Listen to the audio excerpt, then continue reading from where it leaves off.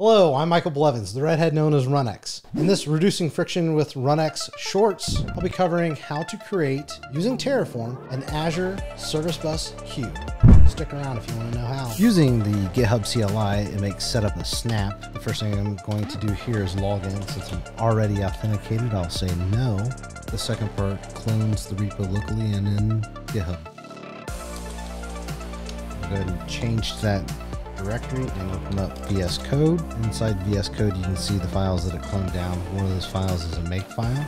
I'll open up a new terminal window, do my make init. A new TFVARS file is created that's empty. I'll go off screen and populate that. Come back into the Service Bus Terraform, do a SB tab, creating the namespace and queue. Make apply. I'll tell it yes to create those. And there you have it. They've been created and you can see them in the portal.